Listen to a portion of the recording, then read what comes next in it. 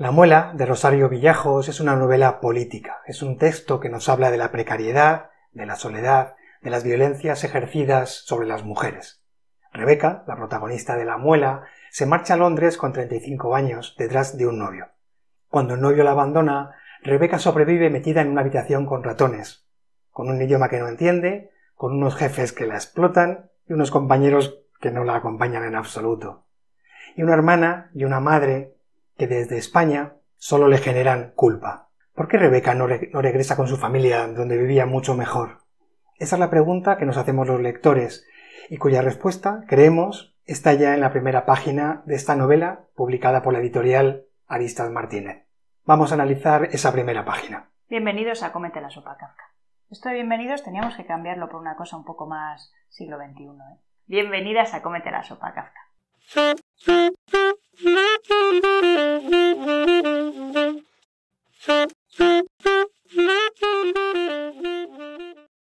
Como acabamos de decir, La muela es un texto muy crítico con el sistema capitalista. Es un texto muy político, un texto que muestra todas o la mayoría de las violencias que sufre una mujer de 35 años, catalana, con padres de clase obrera, que decide emigrar a Londres. Vamos a ver cómo la mayoría de esas violencias, que podemos llamar violencias externas, están ya presentes en la primera página.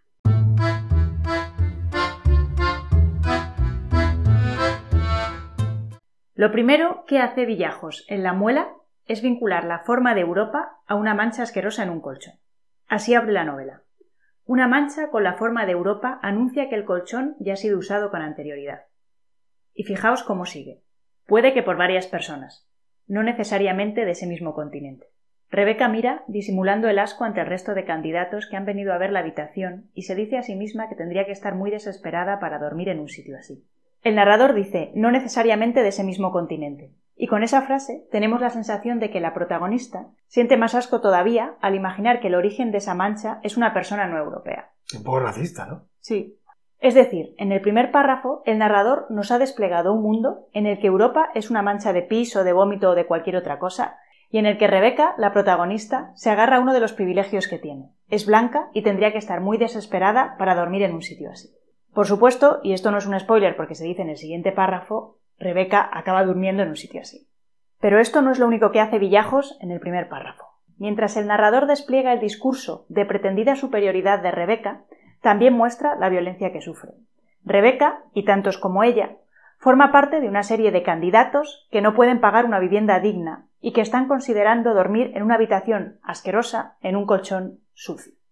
Va demasiado lento para ti, ¿no? Está bien. Pero las violencias no acaban ahí. Un poco más adelante leemos. Debe de estar tarada para encontrarse tan sola.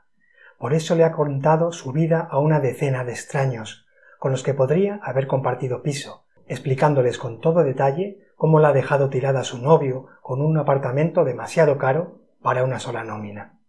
Rebeca está sola. No tiene comunidad con la que afrontar ni sus dificultades emocionales ni sus dificultades económicas. Una violencia más del sistema capitalista. Estás sola y todo depende de ti. Pero además, Rebeca es una mujer y, por lo tanto, claro, recibe unas cuantas violencias extra. En la segunda página aparecen dos de ellas, dos de las que se van a desplegar durante el libro. Por un lado, la exigencia de tener un cuerpo perfecto.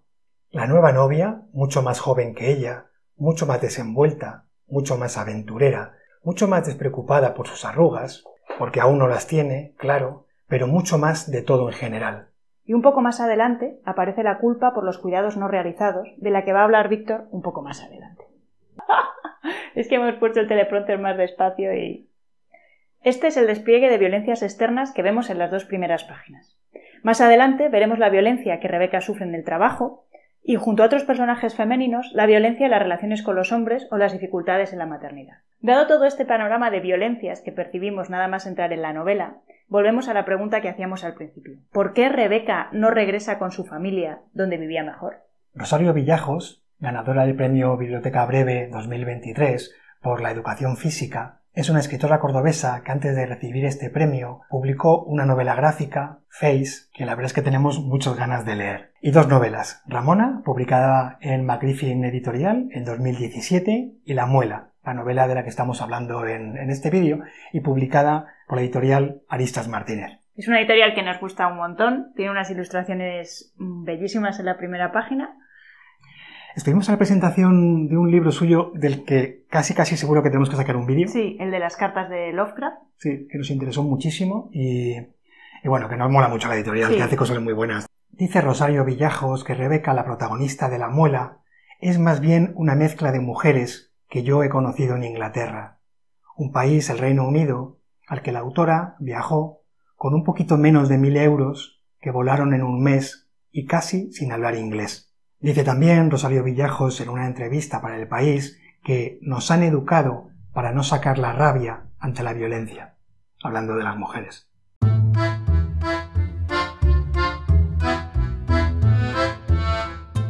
A estas violencias que la protagonista de La Muela sufre en Londres y a las que Emilia se ha referido como violencias externas, se une otro tipo de violencia interna, más sutil y si queréis más jodida, porque viene de la propia Rebeca. Joder, estás hablando súper despacio. En plan, como para... Es para que me entiendan bien. como para que se duerman a gusto. Y para que me entiendan todo lo que digo. Y quizás este tipo de violencia interna sea la razón por la que Rebeca no regresa con su familia donde, bueno, quizá viviría un poquito mejor. Con violencias internas nos referimos a esa autoexigencia, a esa culpa, esa gestión individual de los problemas que el capitalismo ha metido en la cabeza de Rebeca y también en la de todos nosotros. Una culpa y una autoexigencia que en la muela identificamos por la voz narrativa, por ese lugar desde el que se despliega el discurso del narrador. Pues a lo mejor es verdad que va muy lento. ¿o qué? Vale. El capitalismo y el patriarcado le han dicho a Rebeca, eres una mujer, tienes 35 años, tus padres se han sacrificado para darte unos estudios, por tanto, tienes unas metas que lograr antes de hacerte vieja. Esa mochila tan pesada de metas y de obligaciones que el imaginario nos impone se refleja en la voz de la muela, desde la primera hasta la última página. Vamos con algunos ejemplos. Tranquilamente, ¿eh? Tranquilamente, sin correr, sin correr. Uh. Cuando en el tercer párrafo de la novela se dice, refiriéndose a Rebeca, algo ha tenido que hacer mal, es decir, tiene 35 años, es decir, debe de estar tarada para encontrarse tan sola, lo que el narrador está dando por sentado, sin decirlo, es ese imaginario cabrón, esa exigencia tan paralizadora de que con 35 años una, uno, ha de tener la vida resuelta. Hemos aceptado con naturalidad que a los 35 años uno tiene que haber logrado ya todo lo que merece la pena en la vida. Una pareja, un buen trabajo, un estatus, aunque sea un estatus de mierda como la que tiene como el que tiene la hermana de la protagonista. Y lo que nos parece peor, si a la edad de 35 años no has conseguido ya todo eso, la culpa es tuya y tú eres un tarado. ¿Esto lo has leído en algún otro sitio? ¿El qué? Este discurso de autoexigencia, de culpa. Sí, pero la verdad que lo he leído como más desde el otro lado, desde esa cosa de decir, es que ahora eh, no se llegan a hacer adultos nunca los jóvenes, entre comillas, ¿no? Porque ya empezar a llamar a 35 años gente joven. En realidad, uno con 35 años aún no ha hecho nada. Aún le queda todo por hacer, aún le da tiempo de tener éxito, de tener fracaso, de tener éxito, de tener fracaso, no o sea, en realidad estás empezando a vivir. Me alegro que tengo 33, así que... Cuando un poco más abajo en esa primera página, el narrador vuelve a decir, refiriéndose a Rebeca, llorar porque un hombre la ha abandonado le parece algo vergonzoso e indigno. Si acaso berreará, pero sin soltar una lágrima, como si no fuera ella esa mujer abandonada. Lo que el discurso está dando por hecho es que una mujer no puede permitirse el lujo de mostrarse débil ante el mundo, no puede darse el gusto de llorar por un hombre. El narrador o Rebeca, está hablando aquí de algo que creo que habitualmente sentimos las mujeres. Una distancia entre lo que a veces sentimos, quizás el deseo de llorar por un hombre, y el discurso feminista sobre eso que sentimos. Sabemos que esa manera de esperar a un hombre o que la exigencia de tener un cuerpo perfecto son discursos patriarcales que nos violentan, pero igualmente sentimos esas cosas. Y eso, el sentirlas, provoca una lucha más, una exigencia más entre el discurso y nuestros sentimientos. Sinceramente, yo aquí, en este caso, no hablaría de violencia interna, en absoluto, la verdad. Más bien, creo que el discurso feminista es el que nos posibilita ver el origen del problema y entenderlo como algo político, no personal. Para darle la vuelta al lema, lo personal es político. No, es que es una subjetividad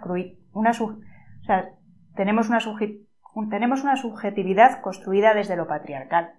Otro ejemplo de esa voz autoexigente, culpable, que gestiona los problemas de manera individual, lo vemos en esa primera página cuando el narrador dice La hermana en cuestión es muy fea y Rebeca cree que principalmente podría estar amargada por eso. Puede que también lo esté porque ella se marchó a Londres nada más morir su padre, dejando a la hermana fea a cargo de la madre que está prácticamente ciega, algo por lo que Rebeca también se siente furtivamente culpable. Lo que se transparenta es una voz que nos habla desde el lugar de la culpa, desde la responsabilidad individual de ese problema que es tan de todos como el cuidado de nuestros mayores. En resumen, Rebeca está jodida en Londres porque no tiene novio, porque no tiene vida, pero sobre todo está jodida porque el capitalismo y el patriarcado le han metido en la cabeza que ella, una mujer con 35 años y unos estudios de diseño, se merece, está obligada a mucho más.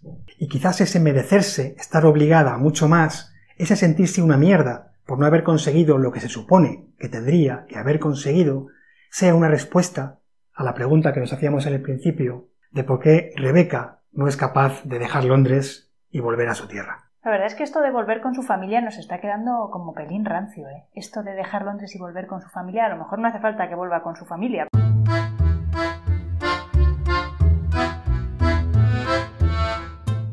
Como sabéis, en una buena novela, el fondo y la forma van siempre unidos. Cuando nos paramos a analizar la forma de la muela, nos encontramos un texto discursivo que no avanza. Mediante continuos saltos atrás y adelante en el tiempo, Mediante cambios de perspectiva de un personaje a otro, el discurso de la muela repasa una y otra vez la situación de la protagonista en Londres sin encontrar una salida. a mí me gusta que vaya así muy lento y poder bailar. tiempo. El narrador omnisciente de la muela salta de un personaje a otro, aunque la mayoría del tiempo es verdad, está con la protagonista, está con Rebeca. Salta de un momento a otro, del tiempo previo con el novio al tiempo posterior, ya sin él, y en ese regodeo de su situación no hay progresión ni movimiento, solo un bucle infinito de palabras. Estamos aquí. Sí, es rarísimo. Viendo pasar la vida. esperando el autobús. Lo voy a poner, venga, lo pongo más rápido. En el contenido de la muela se nos muestra un personaje que a sus 35 años se siente fatal por no haber conseguido lo que debería o se merecía y en su forma, la muela despliega un discurso que carece de herramientas para salir de esa espiral de violencias. Acabamos de decir que la muela es un texto discursivo, es decir, un texto cuyo hilo conductor no viene dado por los acontecimientos y escenas de la trama, sino por el discurso del narrador. Normalmente, los textos discursivos están escritos en primera persona. Por ejemplo, El amante de Duras, que hicimos un vídeo hace relativamente poco. Sin embargo, La muela, a pesar de ser un texto discursivo, utiliza un narrador en tercera persona que sabe lo que piensan y sienten todos los personajes de la historia. ¿No habría sido más fácil escribir este libro en primera persona? ¿Por qué en tercera? ¿Qué aporta ese narrador externo? ¿Qué aporta esa tercera persona? Creemos que ese narrador externo de la muela permite hablar desde fuera de Rebeca, mirar a Rebeca desde fuera y, por tanto, ridiculizarla, dificultar la empatía con ella. Mirad este ejemplo de la segunda página. Rebeca se imagina cómo es la chica para torturarse, para castigarse lo que haga falta. Aquí está hablando el narrador de cómo Rebeca imagina la nueva novia del novio. Si este texto estuviera escrito en primera persona, Rebeca no diría de sí misma hago esto para torturarme, para castigarme lo que haga falta. Sobre todo esa segunda parte, para castigarme lo que haga falta. Suena un poco como como si se estuviera riendo, ¿no? Lo diría de otra manera una manera que nos haría empatizar con ella, pero que, generaría, un efecto muy distinto del que genera la muela. Creemos que se perdería bastante lo cáustico. Ese humor fino que tiene la novela, ¿no? Esa manera de separarse un poco de Rebeca y reírse un poco de ella. De sí misma, pero con ese narrador intermedio, claro. Rebeca se ríe de sí misma, pero es que el narrador todavía es más cabrón desde fuera. Totalmente. Todavía la ridiculiza más. Pero bien, porque sí vamos como tranquilitos. Calla que ya me toca. Ah, Dice Rosario Villajos que la protagonista de su novela La Muela no vuelve de Londres por no aceptar el fracaso y por el miedo a que todo siga igual cuando regrese. Esos dos motivos están ahí, claro, pero nos parece que La Muela muestra, además, el origen de esos miedos, lo que hemos llamado las violencias internas, que también se reflejan en la voz y que no son más que el resultado de un sistema capitalista violento que nos vuelve autoexigentes, aislados y vulnerables. Con tanto discurso anticapitalista se nos ha olvidado la de la metáfora de la muela.